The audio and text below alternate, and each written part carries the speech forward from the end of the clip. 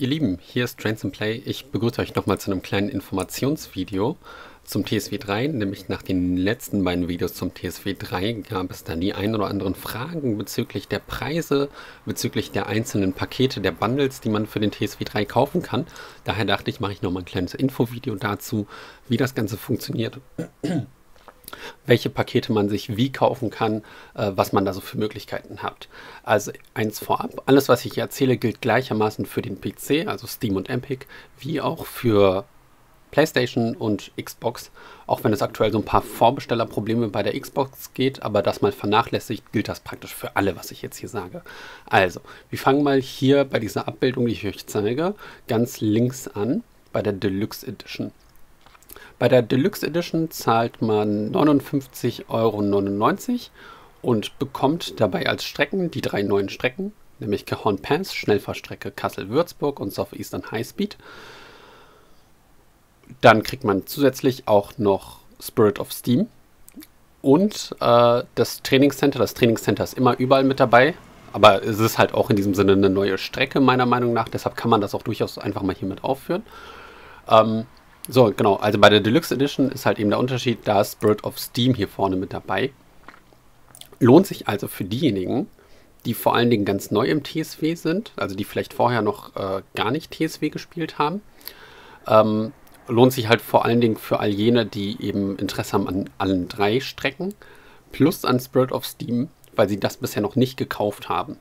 Denn es ist nämlich so, alle DLCs, die man für den TSW 2 besaß, die kann man auch im TSW 3 spielen. Heißt also, man muss nichts nochmal doppelt kaufen. So. Was es auch bei der Deluxe Edition gibt, ist der Pre-Order-Bonus. Ähm, der Pre-Order-Bonus bedeutet, dass man vier Tage vorher schon den Early Access hat, also am 2.9., wenn ich das richtig im Kopf habe. Und es gibt noch so ein Decal-Pack äh, für äh, den Livery Designer. Ich glaube, das Decal Pack ist jetzt nicht das Beste auf der Welt. Also ich glaube, das kann man, das kann einem auch ziemlich egal sein, aber vor allen Dingen der Early Access mit dem Deluxe Pack. Und es gibt sogar einen 10% Rabatt, wenn man das Ganze vorab bestellt. Also statt 59,99 äh, zahlt man dann ein paar Euro weniger. So, das ist die Deluxe Edition. Dann ist es aber so, dass man auch die Standard-Edition kauft, wo dann einfach nur Spirit of Steam nicht mehr mit dabei ist. Aber ansonsten, ansonsten sind da alle drei Strecken mit dabei.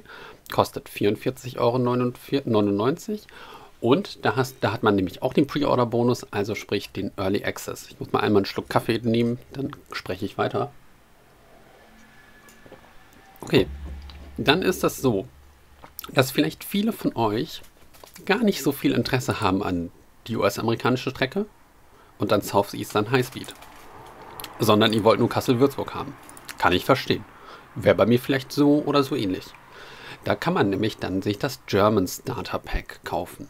Da ist nämlich dann, da hat man dann nämlich das Spiel TXV 3 und als einzige Strecke, die man dann eben hat, hat man die Schnellfahrstrecke Kassel-Würzburg mit ICE 1 und Co. Und das kostet dann auch nur 35,99 Euro. Also es ist halt deutlich günstiger, es ist halt eben auch nur eine Strecke mit dabei, nämlich Schnellfahrstrecke äh, Kassel-Würzburg. Die anderen beiden Strecken sind nicht mit dabei, aber wenn die einen sowieso nicht interessieren, dann muss man auch nicht dafür zahlen.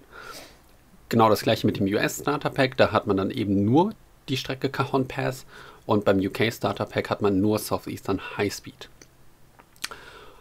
Was es auch noch gibt, ist das Spirit of Steam Starter Pack für 35,99. Da kriegt man dann ähm, praktisch nur Spirit of Steam als neue Strecke. Und äh, von diesen dreien nichts. Also weder South Eastern Highspeed noch, noch Schnellfahrstrecke Kassel-Würzburg noch Cajon Pass, sondern eben nur Spirit of Steam, wenn es halt einen interessiert. Ich glaube, das wird jetzt auf, die, auf eher weniger hier ZuschauerInnen bei diesem Kanal zutreffen. Ich denke mal, die meisten werden sich vor allen Dingen hier, hierfür interessieren, äh, für das German Starter Pack und nochmal alle DLCs, die man vorher besaß, die kann man auch im TSW 3 spielen. Ihr müsst euch, wie gesagt, nichts neu kaufen. Alles wird übertragen. Alles ist dann im TSV 3 ab, der, ab dem Release des vollen Spiels, also nach dem Early Access, äh, vorhanden. Ne? Ähm, also nicht wundern, diejenigen, die sich den Early Access dann praktisch kaufen, ähm, da werden erstmal noch nicht zu dem Zeitpunkt die anderen Strecken mit dabei sein also die aus TSW 2, die werden noch nicht zu dem Zeitpunkt spielbar sein, sondern erst, wenn der Early Access beendet ist, also vier Tage später, am 6. Ähm, am 9., nee, am 6. Ne? Ähm, ihr wisst schon. Und da ist es dann so, dass dann die ganzen Strecken vorhanden sein werden. Was vielleicht auch ganz interessant ist, mal angenommen, ihr kauft euch das German Starter Pack mit der Schnellfahrstrecke Kassel-Würzburg.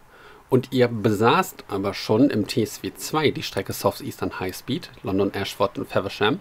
Dann ist es so, bei der Strecke ist ja jetzt die Neuerung, dass da praktisch ein neuer Streckenast mit, mit dazugekommen ist. Und obwohl ihr nur die Schnellfahrstrecke Kassel-Würzburg im German Starter Pack gekauft habt, bekommt ihr trotzdem automatisch hier ähm, bei der UK-Strecke diese Verlängerung mit dazu für äh, Southeastern High Speed. Also das ist vielleicht auch gar nicht mal so irrelevant, äh, das zu wissen. E also sprich, egal bei welchem, egal welche, welches Bundle man sich kauft, man bekommt immer zusätzlich noch die ähm, Streckenerweiterung für Southeastern High Speed, wenn man die Strecke vorher auch schon besaß.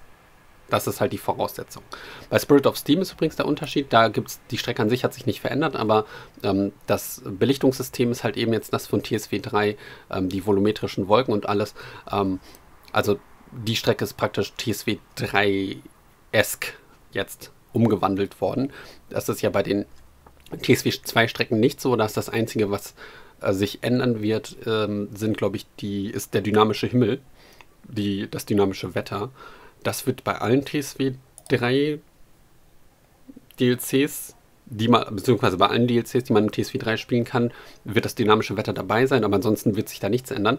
Aber bei Spirit of Steam hier ändert sich das zum Beispiel trotzdem. So, ich hoffe, dass ich damit die ein oder anderen Fragen beantworten konnte. Ähm, und eventuell den einen oder anderen auch davor bewahrt habe, vielleicht viel zu viel Geld auszugeben für irgendwelche Strecken, die man gar nicht haben möchte. Also guckt euch das Ganze an. Ich gehe mal davon aus, die meisten werden sich hier für das German Starter Pack interessieren. Ich finde, das ist auch ein sehr, sehr guter Preis, ehrlich gesagt. Ein komplett neues Spiel. Also TSW 3 als neue Basis, das Trainingscenter, die Schnellfahrstrecke Kassel-Würzburg und wenn man es vorher besaß, die Extension für London, äh, Ashford und Faversham. Für 35,99 ist gar nicht mal so schlecht. Und wie gesagt, wer den Pre-Order-Bonus haben möchte ähm, und den Early Access, der muss halt eben sich die Deluxe Edition holen oder die Standard Edition. Gut, das war es dann auch so viel soweit von mir. Ich hoffe, dass ich die ein oder anderen Fragen damit beenden, nicht beenden, aber ähm, beantworten konnte. Ja, und wenn ihr noch Fragen habt, lasst es mich gerne in den Kommentaren wissen. Alles Gute, alles Liebe.